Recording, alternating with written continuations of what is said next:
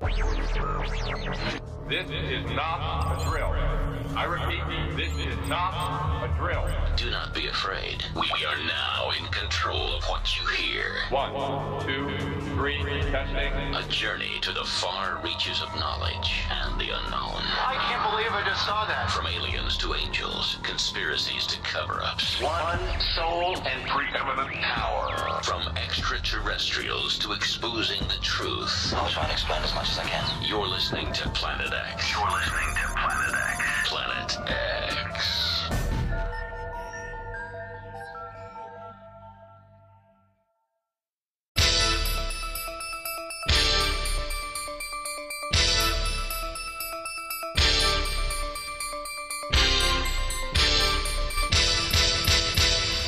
This is Breaking the Matrix. I am Tony Topping.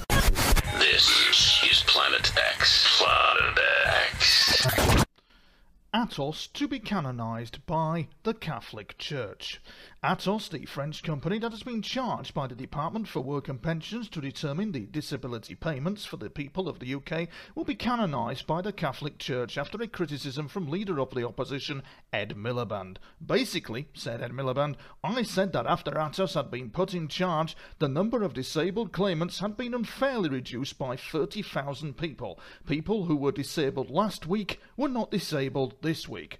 The Pope, the elected representative of God on earth, at least according to one religion, got wind of this comment and investigated. We have investigated the claim, said Deacon Mission, head of the Catholic Church Sainted Department, and we concur with Mr. Miliband's assessment that Atos has made 30,000 people no longer disabled. That is a better rate than Jesus. He only managed it with a handful. 30,000 is impressive by anybody's standards. Atos have successfully made the blind able to see, the paralysed able to walk, and in five cases brought back five people who were officially dead. Such a miracle requires recognition, said Mission, and for this reason Atos will be beatified and later canonised once the paperwork has gone through. This will be the first time that an organisation has been made into a saint by the Catholic Church, but probably won't be the last. We have heard that Findus have managed to feed 5,000 people using just four fish, said Mission. That too is a miracle, whilst BP have managed to create a plague of dead rotting fish upon their enemies.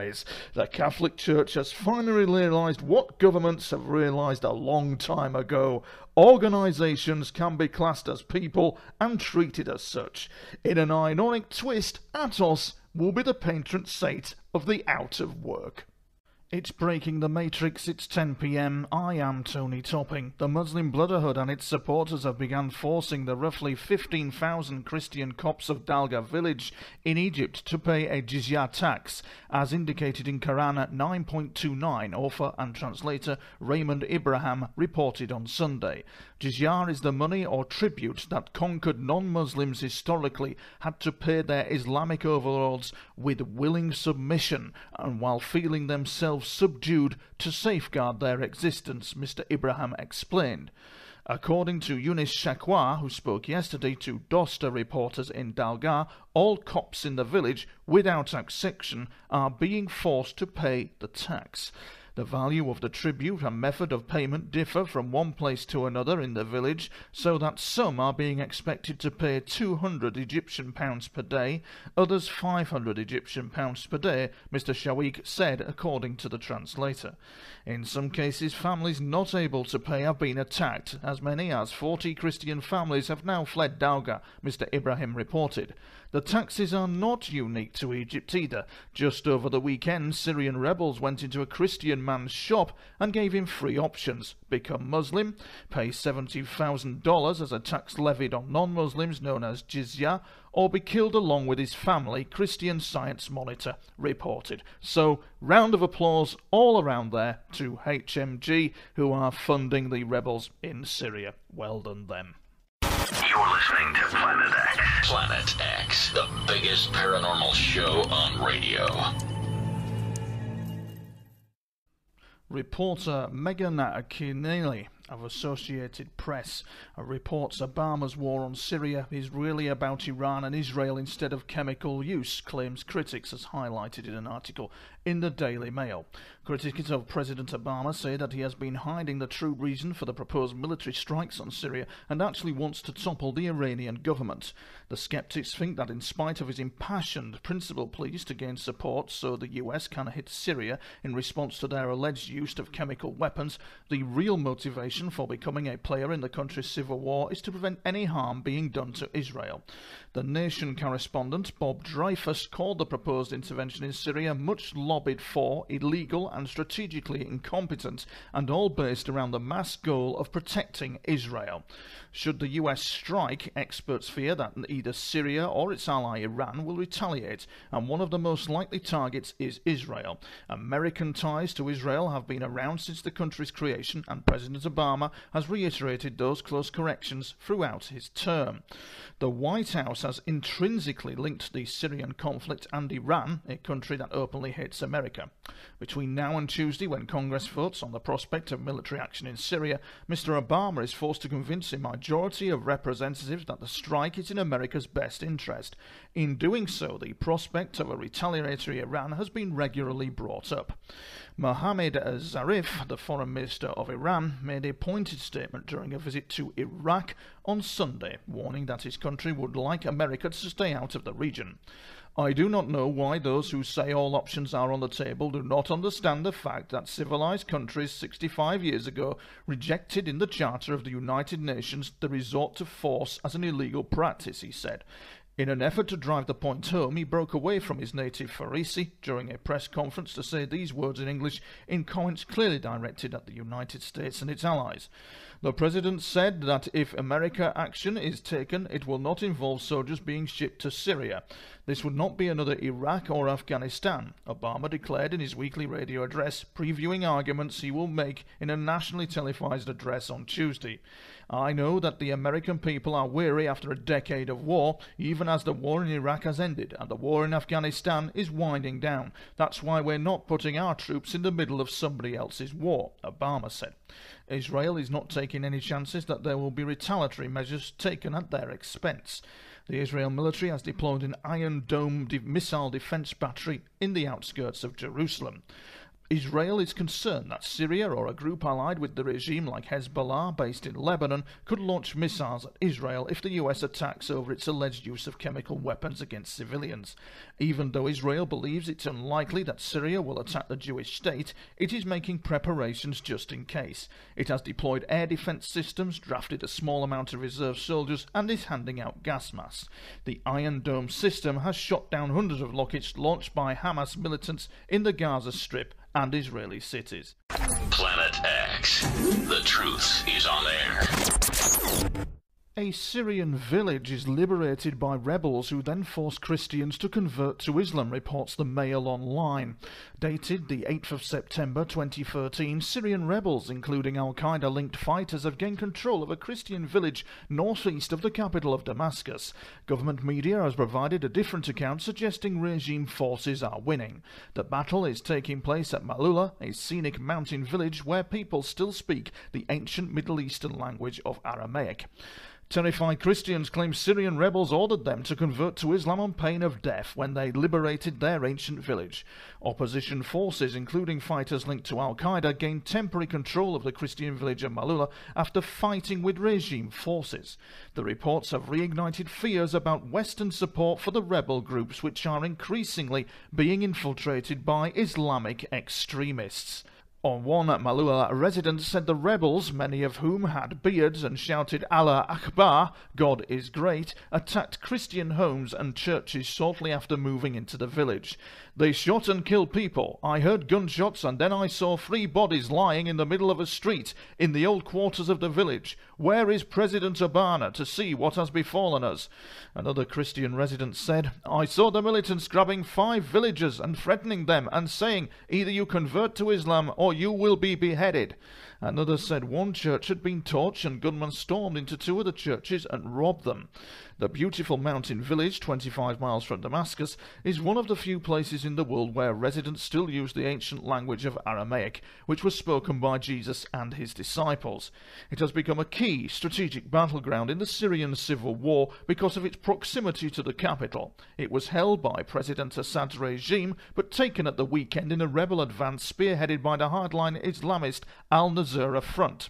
Villagers said they held several foreign accents among the rebels, with many feared to be Al Qaeda fighters imported into the conflict. A villager said he heard mainly Tunisian, Libyan, Moroccan, and Chechnyan dialects. In a video posted online, a rebel commando shouted at the camera, We cleanse the village from all the Assad dogs and all his thugs. But Syria's state news agency claimed the rebels had withdrawn and the regime had regained the village, saying the army had inflicted heavy losses in the ranks of the terrorists. McClatchyDC.com is reporting intercepts caught Assad rejecting requests to use chemical weapons, according to a German paper, says reporter Matthew Schofield. Berlin, Syrian President Bashar Assad has reportedly uh, rejected requests from his field commanders for approval to use chemical weapons, according to report this weekend in a German newspaper. The report in Bild am Sonntag, which is a widely read and influential national Sunday newspaper, reported that the head of the German Foreign Intelligence Agency, Gerhard Schindler, last week told a select group of German lawmakers that intercepted communications had convinced German intelligence officials that Assad did not order or approve what is believed to be a sarin gas attack on August 21st that killed hundreds of people in Damascus' eastern suburbs. The Obama administration has blamed the attack on Assad. The evidence against Assad was described over the weekend as common sense by White House Chief of Staff Denis McDonough on CNN's State of the Union. The material uh, uh, was used in the eastern suburbs of Damascus that have been controlled by the opposition for some time, he said. It was delivered by rockets, rockets that we know the Assad regime has, and we have no indication that the opposition has.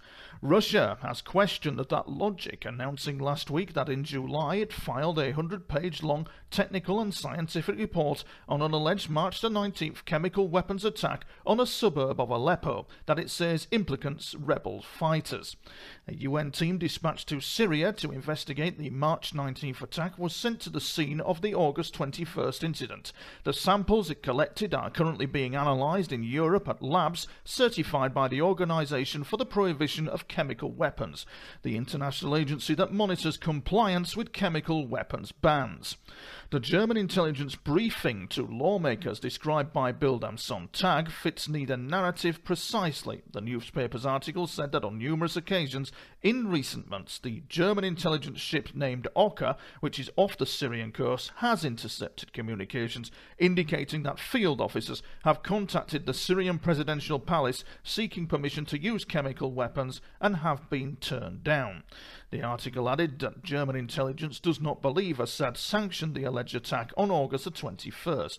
Last week, the German news magazine Der Spiegel also cited a briefing for German legislators, said that Oker had intercepted a phone call between a commander from the Lebanese militant group Hezbollah and an official at an unidentified Iranian embassy saying that Assad had ordered the August 21st chemical attack out of anger. The Hezbollah commander called the attack a huge mistake, Der Spiegel said. It was not clear if the two news accounts were based on the same or different briefings. Assad told American journalist Charlie Rose in an interview to be broadcast in its entirety Monday night on PBS that there had been no evidence that I used chemical weapons against my own people. Even if Assad didn't approve the use of chemical weapons, he's likely to be held responsible for its use by a rogue unit within Syria's security forces. David Butter, a Syrian expert with the British think tank Chatham House, called the German intelligence an interesting distraction but nothing more right now.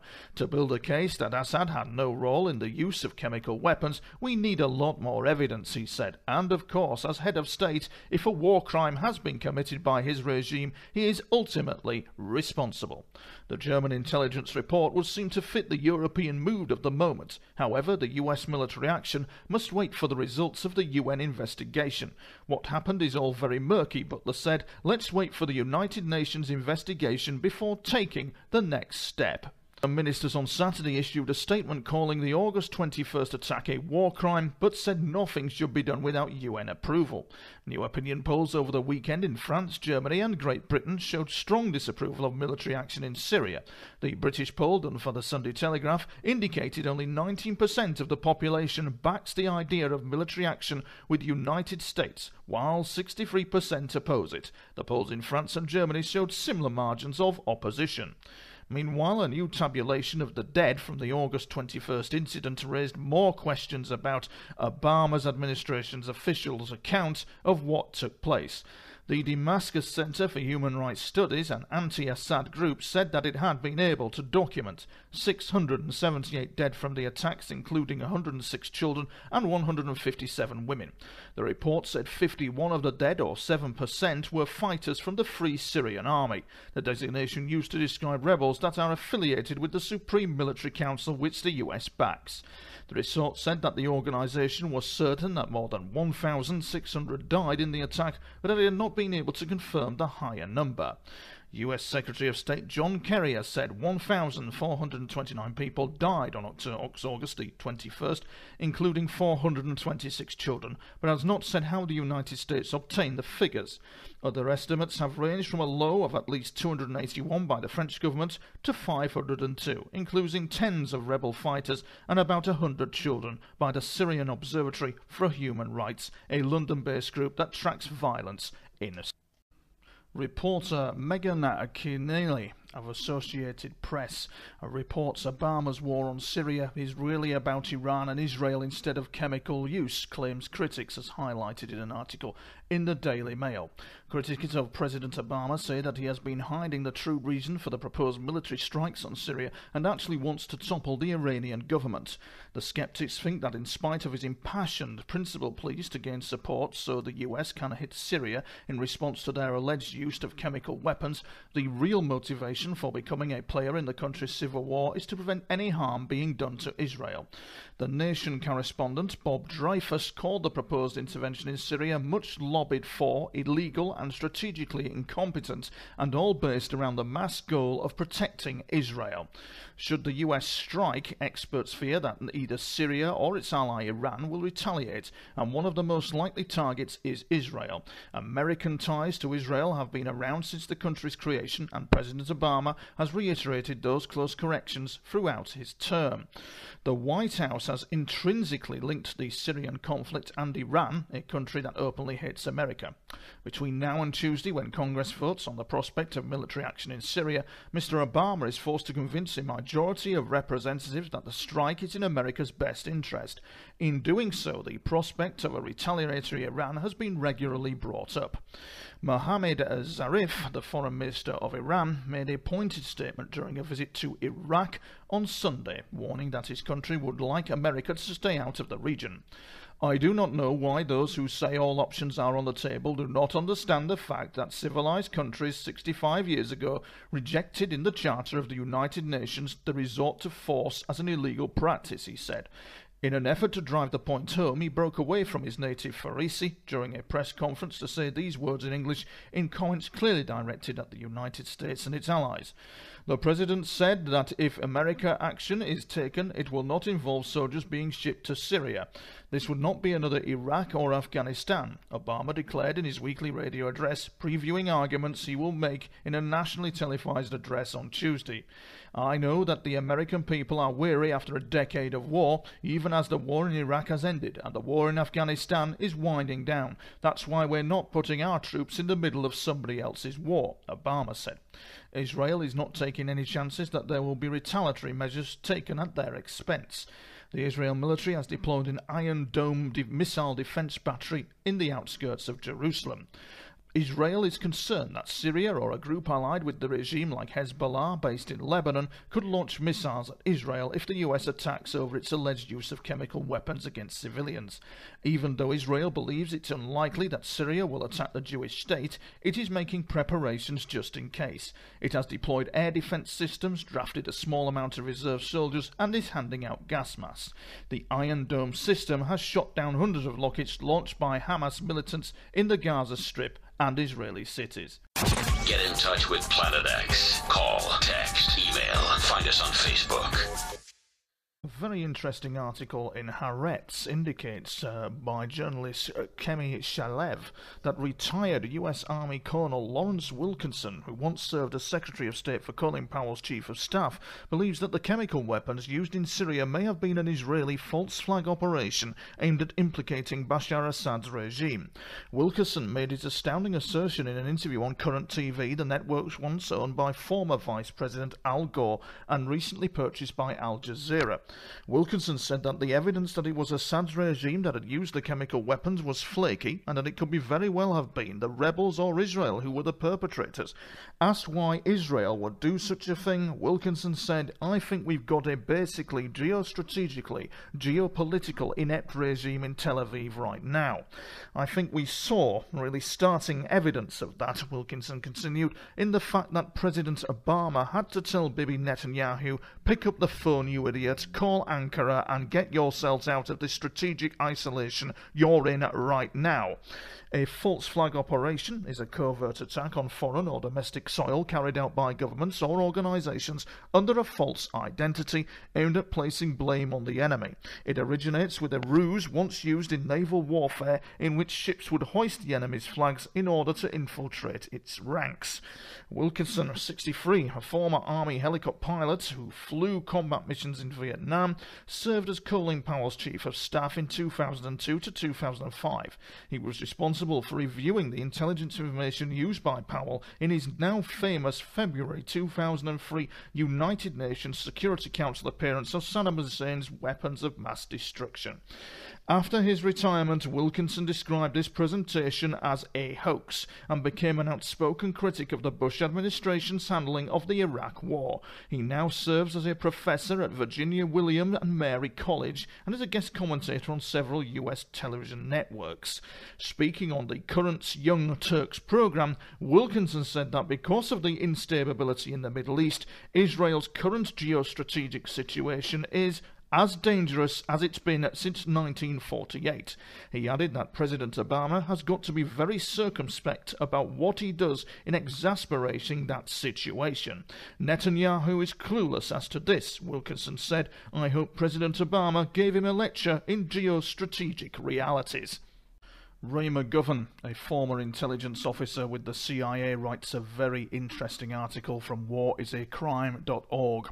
It's very interesting. He is part of Veteran Intelligence Professionals for Sanity, and his article, Who is Lying, Brennan, Obama, or Both, is a very interesting read. The subject to the memorandum to the President Obama is is Syria a trap?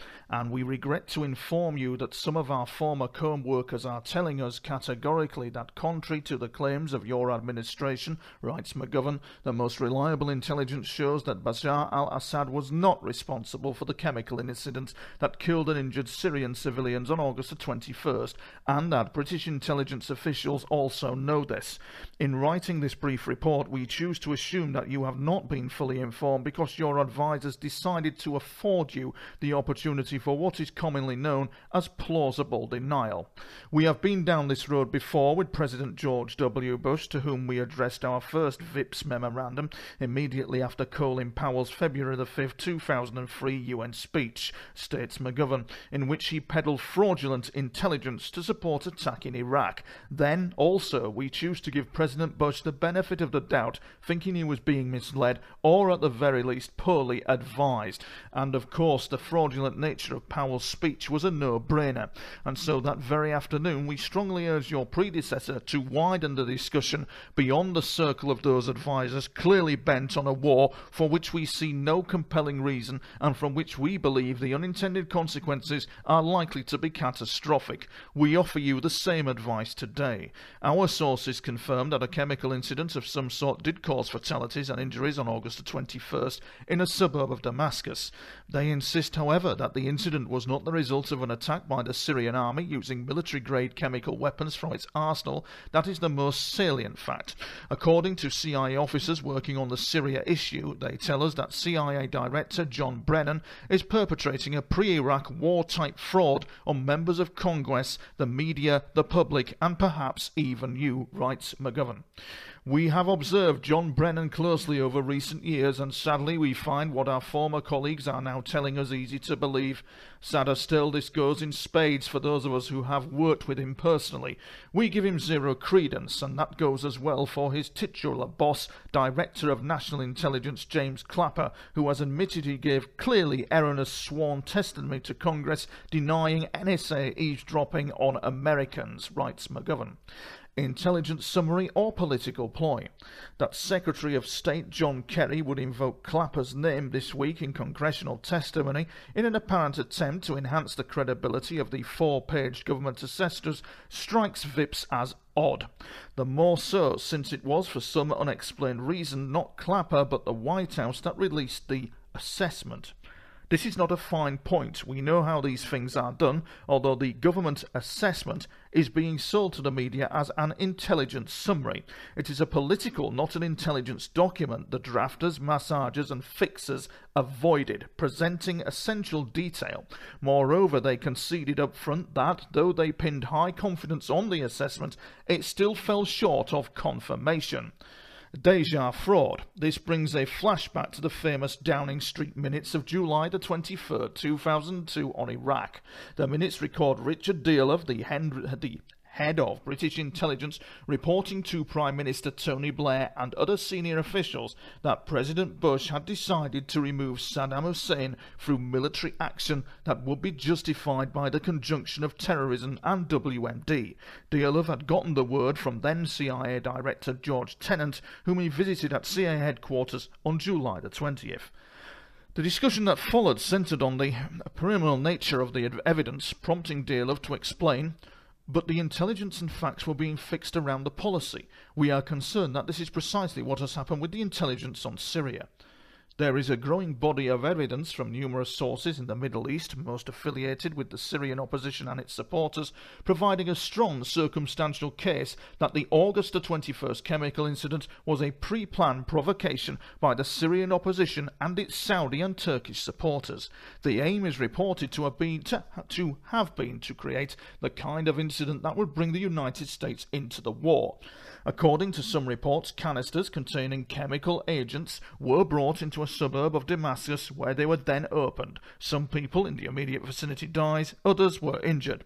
We are unaware of any reliable evidence that a Syrian military rocket capable of carrying a chemical agent was fired into the area. In fact, we are aware of no reliable physical evidence to support the claim that this was a result of a strike by a Syrian military unit with expertise in chemical weapons. In addition, we have learned that on August the 13th, uh, 20 or 14th, 2013, Western-sponsored opposition forces in Turkey started advanced preparations for major irregular military surge.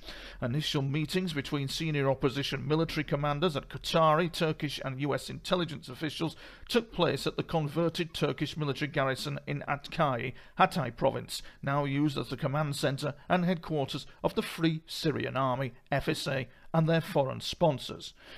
McGovern continues that senior opposition commanders who came from Istanbul pre-briefed the regional commanders on an imminent escalation in the fighting due to a war-changing development which in turn would lead the US-led bombing of Syria at operations coordinating meetings attended by senior Turkish, Qatari, and US intelligence officials, as well as senior commanders of the Syrian opposition, the Syrians were told that the bombing would start in a few days. Opposition leaders were ordered to prepare their forces quickly to exploit the US bombing, march into Damascus, and remove the Bashar al Assad government. The Qatari and Turkish intelligence officials assured the Syrian regional commanders that they would be provided with plenty of weapons for the coming offensive, and they were. A weapons distribution operation, unprecedented in scope, began in all opposition camps on August the 21st and 23rd. The weapons were distributed from storehouses controlled by Qatari and Turkish intelligence under the tight supervision of US intelligence officers. Who benefits? asked McGovern. Well, that the various groups trying to overthrow Syrian President Bashar al Assad have ample incentive to get the US more deeply involved in support of the effort is clear. Until now, it has not been quite as clear that the Netanyahu government in Israel has equally powerful incentive to get Washington more deeply engaged in yet another war in the area, but with outspoken urging coming from Israel and those Americans who lobby for Israeli interests, this priority Israeli objective is becoming crystal clear. A reporter writing from Jerusalem in an important article on Friday's New York Times addresses Israeli motivation in an uncommonly candid way. Her article, titled Israel Backs Limited Strike Against Syria, notes that the Israelis have argued quietly that the best outcome for Syria's two and a half year old civil war, at least for the moment, is no outcome. The journalist Judy Rudoren continues to say that for Jerusalem, the status quo, horrific as it may be from a humanitarian perspective, seems preferable to either a victory by Mr. Assad's government and his Iranian backers or a strengthening of rebel groups increasingly dominated by Sunni jihadis. This is a playoff situation in which you need both teams to lose, but at least you don't want one to win. We'll settle for a tie, says Alon Pinkas, a former Israeli consul general in New York. Let them both bleed, hemorrhage to death. That's the strategic thinking here. As long as this lingers, there's no real threat from Syria. We think this is the way Israel's current leaders look at the situation in Syria, and that deeper US involvement, albeit initially by limited military strikes, is likely to ensure that there is no early resolution of the conflict in Syria, that long Sunni and Shia are at each other's throats in Syria and in the wider region. The safer Israel calculates that it is that Syria's main ally is Iran, with whom it has a mutual defence treaty, also plays a role in Israeli calculations. Iran's leaders are not likely to be able to have much military impact in Syria, and Israel can highlight that as an embarrassment for Tehran. Iran can readily be blamed by association and charged with all manner of provocation, real and imagined. Some have seen Israel's hand in the province of the most damaging charges against Assad regarding chemical weapons, and our experience suggests to us that such is supremely possible.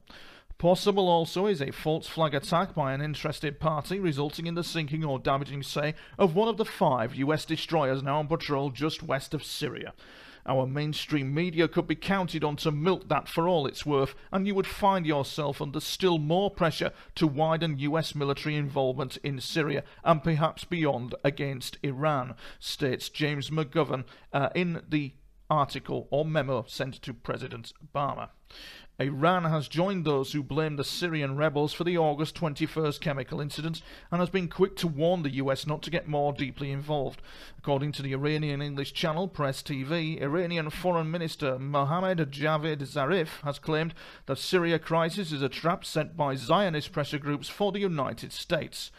Actually, he may be not far off the mark, but we think your advisers may be chary of entertaining this notion. Thus, we see as our continuing responsibility to try to get the word to you so as to ensure that you and other decision makers are given the full picture. And McGovern writes, the former CIA agent, uh, writes further to the president with this interesting, inevitable retaliation scenario. He writes, We hope your advisers have warned you that retaliation for attacks on Syria are not a matter of IF, but rather where and when.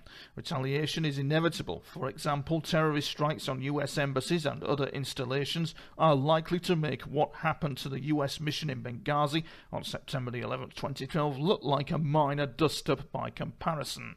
One of us in, uh, addressed this key consideration directly a week ago in an article titled Possible consequences of a US military attack on Syria, remembering the US Marine barracks destruction in Beirut in 1983 for the steering group of veteran intelligence professionals for sanity, and that was a memo directed at President Barack Obama. Birdie's channel Elvis as they twerk instead of tweet. Having problems lately with timely delivery of your tweets, you're not alone. Gail Farrelly, a science and technology reporter at thespoof.com, has found out that the Twitter birdies wanting to thumb their beaks at management for labour complaint issues, no paid overtime, infrequent breaks for eating and drinking, no company furnished raincoats and umbrellas for bad weather flying, have taken matters into their own wings and are spending more time twerking instead of tweeting. Farrelly, skilled in bird talk, got the story straight from the mouth of the head bird. That would be Bill Twitter, the president of the Twitter Birdies Labour Union. The birds really enjoy twerking, confided Mr. Twitter, who commented, They find it a nice, loosey goosey activity. It relaxes them and their role model may surprise you. According to Mr. Twitter, his union membership is not at all interested in modern day twerkers. Miley Cyrus, oh, please dump her back in the world of Disney, the head bird chirped, continuing, My birdies are fans of the late great swivel hipped Elvis Presley. With a little wiggle and an excited flutter of his wings, Mr. Twitter added, Now there was a guy who really knew how to twerk. I mean, he was doing it in the 50s, before the word twerk had even hit the dictionary. As Farrelly ended the interview, she was thinking of what Roy Orbison once said about Elvis. He was the firstest with the mostest. Exactly. This is Breaking the Matrix. I am Tony Topping. Technical journalist Bill Snyder comes up with a very interesting article regarding Verizon's diabolical plan to turn the web into pay per view.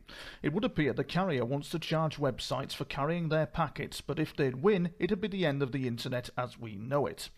Think of all the things that tick you off about cable TV, asked Bill Snyder. Along with brainless programming, crummy customer service, the very worst aspect of it is forced bundling. You can't pay just for the couple of dozen channels you actually watch. Instead, you have to pay for a couple of hundred channels because the good stuff is scattered among a number of overstuffed packages. Now imagine that the internet worked that way. You'd hate it, of course, but that's the direction that Verizon, with the support of many wired and wireless carriers, would like to push the web That's not hypothetical. The country's number one carrier is fighting in court to end the Federal Communication Commission's policy of net neutrality, a move that would open the gates to a whole new and wholly bad economic model on the web. As it stands now, you pay your internet service provider and go wherever you want on the web. Packets of bits are just packets and have to be treated equally. That's the essence of net neutrality. But Verizon's plan, which the company has outlined during hearings in federal court and before Congress, would change that. Verizon and its allies would like to charge websites that carry popular content for the privilege of moving their packets to your connected device. Again, that is not hypothetical. ESPN, for example, is in negotiations with at least one major cellular carrier to pay to exempt its content from subscribers' cellular data caps. And what's wrong with that, you might ask? Well, ESPN is big and rich and can pay for that exemption, but other content providers, think of your local jazz station that streams audio, couldn't afford it and would be out of business, or they'd make you pay to visit their websites. Indeed, if that system had been in place 10 years ago, fledglings like Google or YouTube or Facebook might never never have gotten out of the nest. Susan Crawford, a tech policy expert and professor at Yeshiva University's Benjamin N. Cardozo School of Law, states Verizon wants to cableize the internet. She writes in her blog that the question presented by the case is Does the US government have any role in ensuring ubiquitous, open, world class, interconnected, reasonably priced internet access? Verizon then could be the new Standard Oil. Verizon and other cancer carriers can answer that question by saying no. They argue that because they spent megabucks to build and maintain the network, they should be able to have a say over what content travels over it.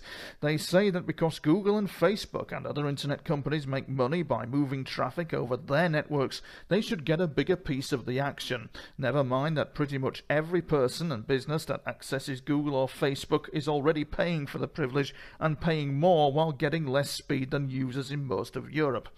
In 2005, AT&T CAO Ed Whitacre famously remarked that upstarts like Google would like to use my pipes free, but it ain't going to let them do that because we have spent this capital and we have to have a return on it. That's bad enough, but Verizon goes even further.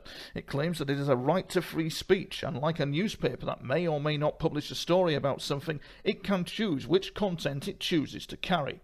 Broadband providers possess editorial discretion, just as a newspaper is entitled to decide which content to publish and where. Broadband providers may feature some content over others. Verizon's lawyers That's so crazy I won't bother to address it, but the FCC has done such a poor job of spelling out what it thinks it has the right to regulate and how that should work that the door is wide open for the carrier's bizarre, not to mention anti consumer strategies and arguments, writes Bill Snyder. I don't want to get down into regulatory weeds, there is one bit of legalese that's worth knowing common carrier. Simply put, it means that the company doing the shipping can't mess with the contents. A railroad is a common carrier, and as such, it can't decide whose cargo it will carry and whose it won't. And before railroads were common carriers, they did things like favour products made by John D. Rockefeller's Standard Oil, which made him even richer and also led to the creation of a wildly out of control monopoly. Very interesting indeed, but the FCC has never ruled out that ISPs are common carriers, partly because it's afraid of the power of the lobbyists to influence Congress, and partly because its directors lack spine. And now that lack of spine is about to bite the butt of everyone who uses the web. According to people who follow this stuff closely, because ISPs are not common carriers, like uh, the, the judges on the US Court of Appeals in Washington, D.C., are looking for askance at the FCC's defence against Verizon's lawsuit, although a verdict isn't likely for months. Here are the stakes. If Verizon or any other ISP can go to a website and demand extra money just to reach Verizon subscribers, the fundamental fairness of competing on the internet would be disrupted. It would immediately make Verizon the gatekeeper to what would and would not succeed online. ISPs, not users, not the market, would decide which websites and services succeed, writes Michael Weinberg, Vice President of Public Knowledge, a digital advocacy group. A taste of the web's future to come is the Time Warner versus CBS dust up, and you don't have to wait for Verizon's verdict to get a taste of what the new web order would be like. Time Warner Cable and CBS just had a dust up over how much Time Warner would pay CBS to carry its programming. When the pair couldn't agree, the cable giant stopped carrying CBS programming in New York City, Los Angeles, and Dallas. CBS then retaliated by stopping Time Warner subscribers from streaming its programming over the internet. They settled after about a month, staying true to form. Time Warner refused to give customers a rebate as compensation for lost programming. That's not exactly the same issue that we're facing in the fight over net neutrality, but it should give you a sense of what life is like when the giants fight it out over what you're allowed to access and for how much. Users get caught in the middle, and the rights were taken for granted simply disappear. The world of zero hours contracts is a very interesting one. Interesting to note on Twitter that a major business guru indicated the, that zero hours contracts were needed for economic flexibility. Katie Hopkins wrote a witless article in support of zero hours contracts, saying that it brought new motivation to a workforce. As somebody said to me, they won't be coming into work on a zero hours contract as and when needed because they needed another job to work, uh, to, sorry, to make ends meet And interestingly enough, the TUC lodges a complaint against government for failing to give equal pay to agency workers, so says the Trade Union Freedom Campaign for. The Campaign for Trade Union Freedom reports that the TUC has today, September the 2nd, lodged a formal complaint with the European Commission against the UK government for failing to implement the Temporary Agency Workers Directive properly, leading to tens of thousands of agency workers being paid less than permanent staff despite doing the same job. The TUC complaint says that the UK government's flawed implementation of the EU directive has allowed the abuse of the so called Swedish derogation, where employment agencies routinely pay agency workers far less than permanent staff doing the same job. The TUC has gathered evidence from workplaces where agency staff are paid up to 135 a week less than permanent staff despite working in the same place and doing the same job. Under UK regulations, agency workers are entitled to the same pay and conditions as permanent staff doing the same job after 12 weeks. However, a Swedish derogation contract exempts the agency from having to pay the worker the same rate of pay as long as the agency directly employs individuals and guarantees to pay them for at least four weeks during the times they can't find them work. In Sweden, where these contracts originate, workers still receive equal pay once in person and 90% of normal pay between assignments. However, in the UK, workers have no equal pay rights and are paid half as much as they received in their last assignment or minimum wage rates between assignments. Agencies can also cut their hours to receive as little as one hour for paid work. Evidence gathered by the TUC shows that Swedish derogation contracts are used regularly in all call centres, food production, logistics firms, that's lorry drivers working out of retail warehouses, and parts of manufacturing. The Temporary Agency Workers Directive was implemented in the UK in 2011 as part of a European wide legislation to give equal treatment to agency workers. At the time, business lobby groups warned that the legislation would lead to heavy job losses. But as with the minimum wage, their predictions proved to be completely wrong, and the number of agency workers has increased despite the recession. Agency working in the UK has increased by 15% since the recession, faster than any other form of employment.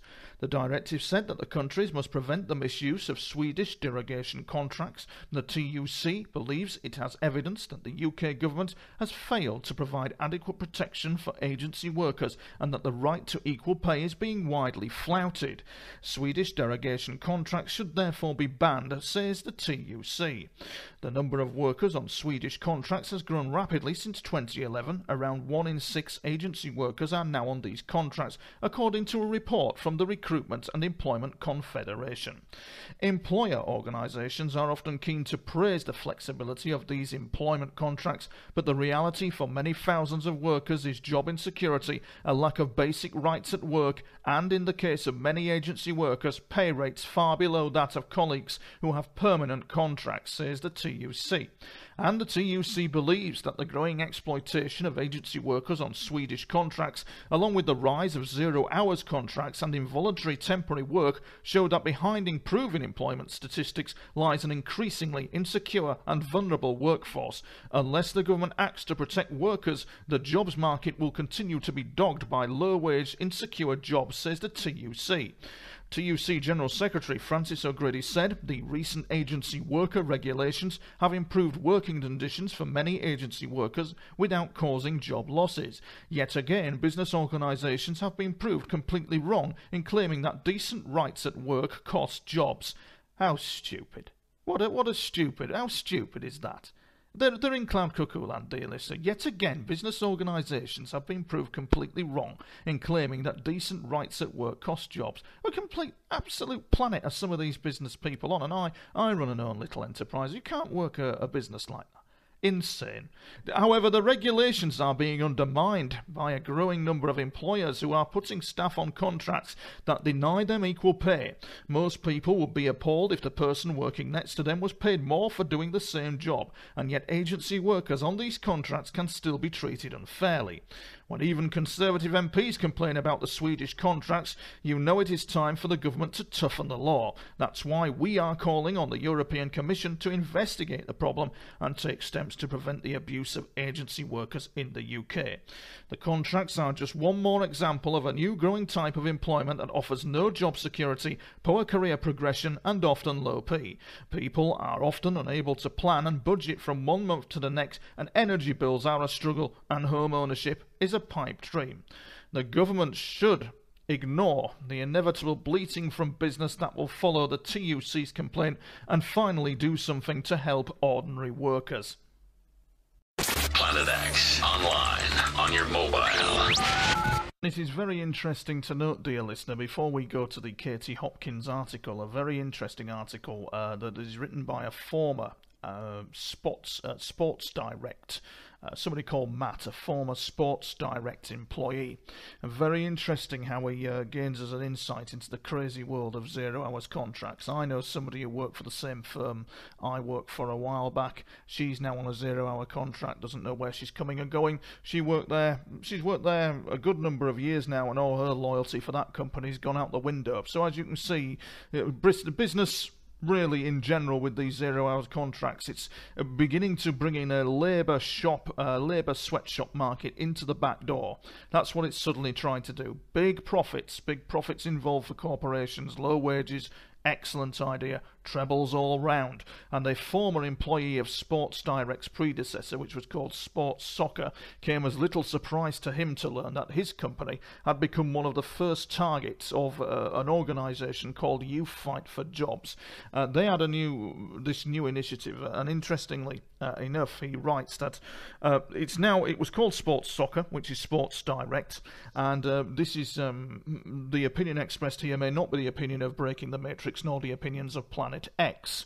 However, it does state that Sports Soccer, Sports Direct's policy at the store I worked at, was to hire as many people as they could onto zero hour contracts, which put a lot of reserve labour at their disposal. The deal was if you step out of line once, or we don't like the look of you, we will give you hours to somebody else. It was store policy that you had to be on the shop floor 10 minutes before your shift started, which was unpaid. In short, every six shifts they got a free hour out of you. In fact, that's common actually. In fact, they got a lot more than that. It was also made clear to you at the interview that you were expected at the end of the day to tidy the store, which again was unpaid and usually took between 30 to 45 minutes more free labour. Shop floor workers, I am sure you are shocked to learn, were on minimum wage. Minimum wage jobs for young working class people and university graduates were not uncommon even back then. Had it been merely the wage and the zero hour contract, I would not have labelled them the worst company I have ever worked for. What tips the balance was the shockingly indignant way they treated me and the rest of the workforce. As an employee, you were not considered to be worthy of entering the shop via the front entrance, you had to go in via the back door. There was also a big sign on the back door that if you opened it without a supervisor present, you would face immediate dismissal for the crime of opening a door. Worst of all, you were basically treated as a criminal and subjected to a body and bag search at the end of every shift. It is about time the shockingly bad way Mr. Ashley treats his employees is brought into the public spotlight. Jellyfish who have illegally settled in the UK have been told to go home by the government. Ice cream vans have been touring seaside resorts where these illegal immigrants are known to be lurking in an effort to get them to leave before they are prosecuted. Bing Crosby, who is currently advising the Tories on how to win the next election, is sure the campaign will gain electoral support at the grassroots. I spoke to the Daily Mail and they are in favour of kicking out these unwanted jellyfish, he has told PM David Cameron. The people have spoken, Cameron told a backbench committee. It is clear that the British people want to see the back of these jellyfish. However, Nick Clegg, Deputy PM, has said the campaign against jellyfish is foolish. They're doing no harm here, he told a bunch of holiday makers on the Blackpool Sands. In fact, they make quite a good meal. I recommend jellyfish soup. Cameron is planning to ban all pictures of jellyfish from the internet in an effort to win women to his cause. His advisor, Bing Crosby, is confident that making a fuss about prawns is a vote winner. And of course, dear listener, we couldn't leave Breaking the Matrix, couldn't actually um, avoid the hilarious, witless article of a PR opportunity by the one and only former apprentice star Katie Hopkins, a broadcaster and businesswoman, uh, who the owner of the uh, uh, the owner of a very famous bra company told her to go and stick it. And listeners, you're not gonna believe what you're about to read here. It's hilarious, and I'm gonna big it up and send it up as best I can. I thought about doing it in the manner of one of those uh, voiceovers that advertise an adult sex channel, uh, because it's just absolutely insane what is being written here regarding zero hours contracts by Katie Hopkins. Have a listen at this. I thought about it, but we'll see how it voices over. Have a listen anyway and have a laugh because I, I just find it hilarious that this is a blatant, witless attempt at jumping on the PR bandwagon, and it's also out of touch completely with what is going on with low-paid work in the UK at the moment. But this are the, these are the thoughts of some of the upper-class people uh, in the UK who think that zero-hours contracts uh, is a good thing.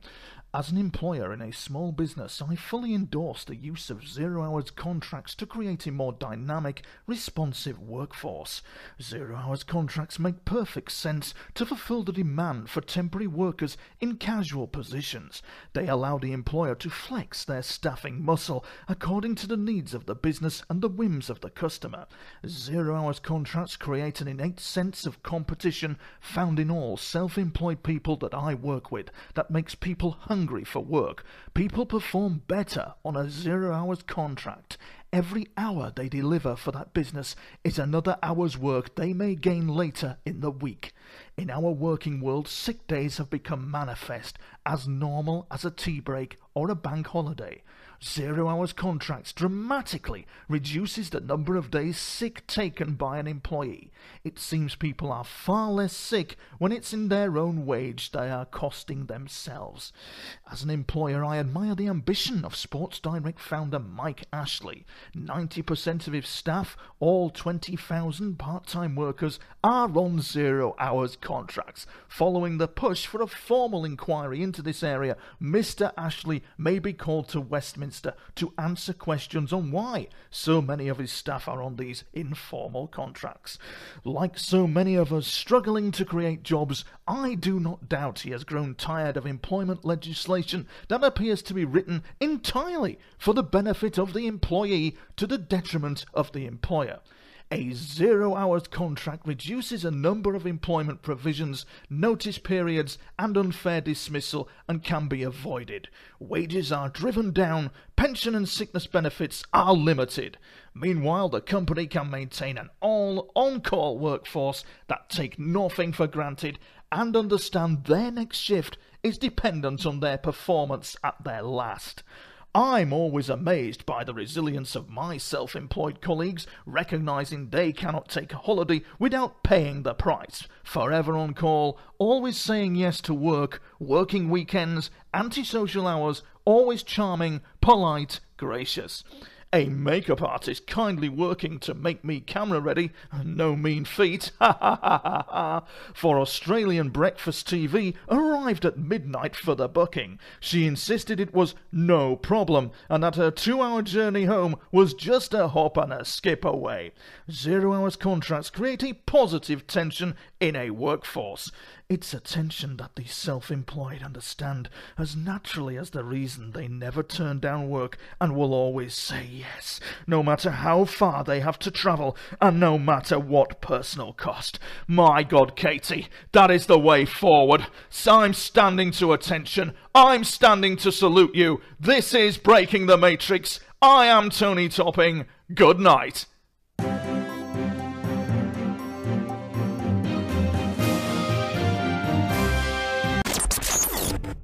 A Syrian village is liberated by rebels who then force Christians to convert to Islam, reports the Mail Online.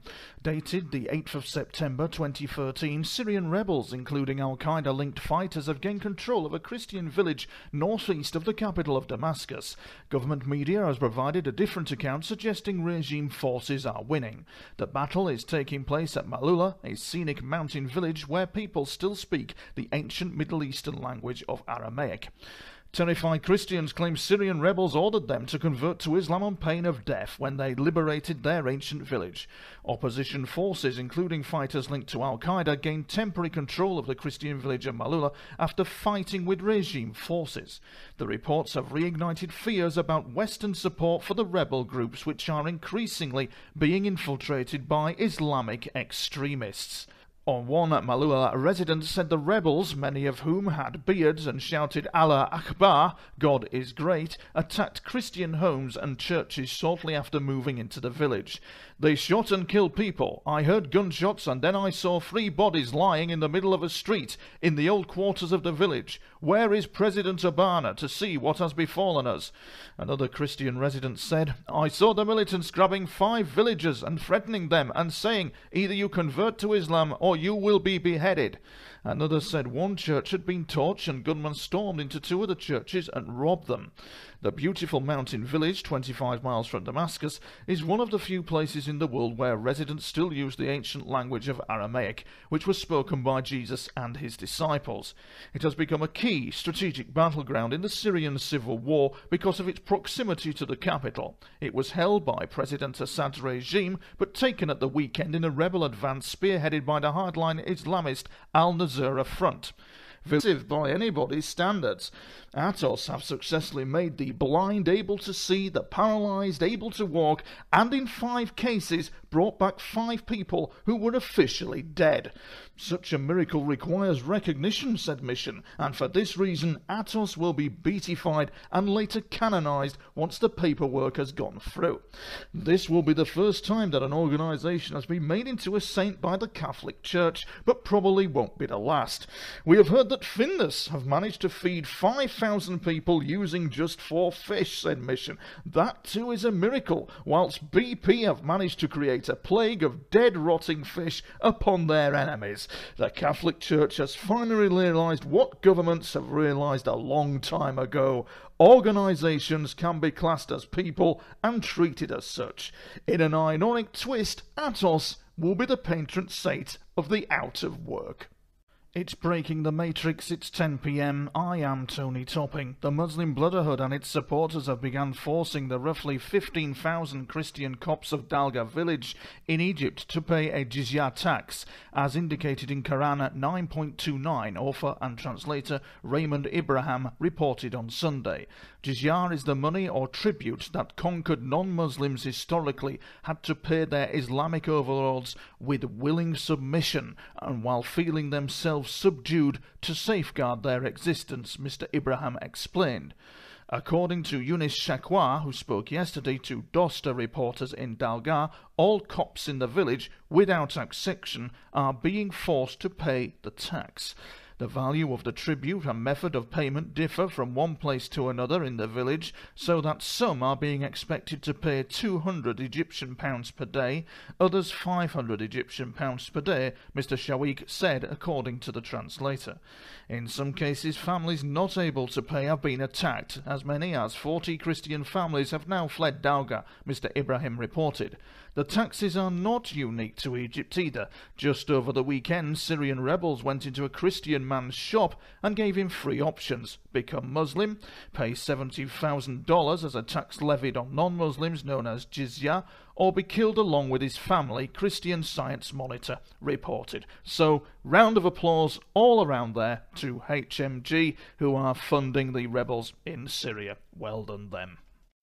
You're listening to Planet X. Planet X, the biggest paranormal show on radio. Reporter Megan Keneally of Associated Press reports Obama's war on Syria is really about Iran and Israel instead of chemical use, claims critics, as highlighted in an article in the Daily Mail. Critics of President Obama say that he has been hiding the true reason for the proposed military strikes on Syria and actually wants to topple the Iranian government. The skeptics think that in spite of his impassioned principal pleas to gain support so the US can hit Syria in response to their alleged use of chemical weapons, the real motivation for becoming a player in the country's civil war is to prevent any harm being done to Israel. The Nation correspondent Bob Dreyfuss called the proposed intervention in Syria much lobbied for, illegal, and strategically incompetent, and all based around the mass goal of protecting Israel. Should the US strike, experts fear that either Syria or its ally Iran will retaliate, and one of the most likely targets is Israel. American ties to Israel have been around since the country's creation, and President Obama has reiterated those close corrections throughout his term. The White House has intrinsically linked the Syrian conflict and Iran, a country that openly hates America. Between now and Tuesday, when Congress votes on the prospect of military action in Syria, This is not a drill. I repeat, this is not a drill. Do not be afraid. We are now in control of what you hear. One, two, three, testing. A journey to the far reaches of knowledge and the unknown. I can't believe I just saw that. From aliens to angels, conspiracies to cover ups. One soul and preeminent power. From extraterrestrials to exposing the truth. I'll try to explain as much as I can. You're listening to Planet X. You're listening to Planet X. Planet X.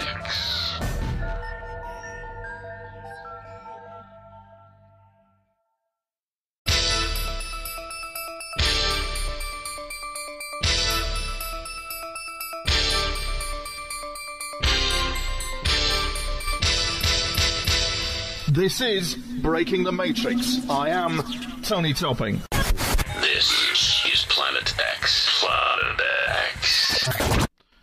Atos to be canonised by the Catholic Church. Atos, the French company that has been charged by the Department for Work and Pensions to determine the disability payments for the people of the UK, will be canonised by the Catholic Church after a criticism from leader of the opposition, Ed Miliband. Basically, said Ed Miliband, I said that after Atos had been put in charge, the number of disabled claimants had been unfairly reduced by 30,000 people. People who were disabled last week were not disabled this week. The Pope, the elected representative of God on earth, at least according to one religion, got wind of this comment and investigated. We have investigated the claims, said Deacon Mission, head of the Catholic Church Sainted Department, and we concur with Mr. Miliband's assessment that Atos has made 30,000 people no longer disabled. That is a better rate than Jesus. He only managed it with a handful. 30,000 is impressive. Mr. Obama is forced to convince a majority of representatives that the strike is in America's best interest. In doing so, the prospect of a retaliatory Iran has been regularly brought up. Mohammad Zarif, the foreign minister of Iran, made a pointed statement during a visit to Iraq on Sunday, warning that his country would like America to stay out of the region. I do not know why those who say all options are on the table do not understand the fact that civilized countries 65 years ago rejected in the Charter of the United Nations the resort to force as an illegal practice, he said. In an effort to drive the point home, he broke away from his native Farisi during a press conference to say these words in English in comments clearly directed at the United States and its allies. The president said that if America action is taken, it will not involve soldiers being shipped to Syria. This would not be another Iraq or Afghanistan, Obama declared in his weekly radio address, previewing arguments he will make in a nationally televised address on Tuesday. I know that the American people are weary after a decade of war, even as the war in Iraq has ended and the war in Afghanistan is winding down. That's why we're not putting our troops in the middle of somebody else's war, Obama said.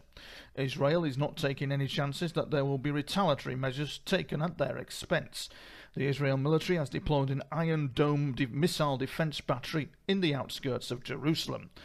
Israel is concerned that Syria or a group allied with the regime like Hezbollah based in Lebanon could launch missiles at Israel if the US attacks over its alleged use of chemical weapons against civilians. Even though Israel believes it's unlikely that Syria will attack the Jewish state, it is making preparations just in case. It has deployed air defense systems, drafted a small amount of reserve soldiers, and is handing out gas masks. The Iron Dome system has shot down hundreds of rockets launched by Hamas militants in the Gaza Strip and Israeli cities. Planet X. The truth is on air.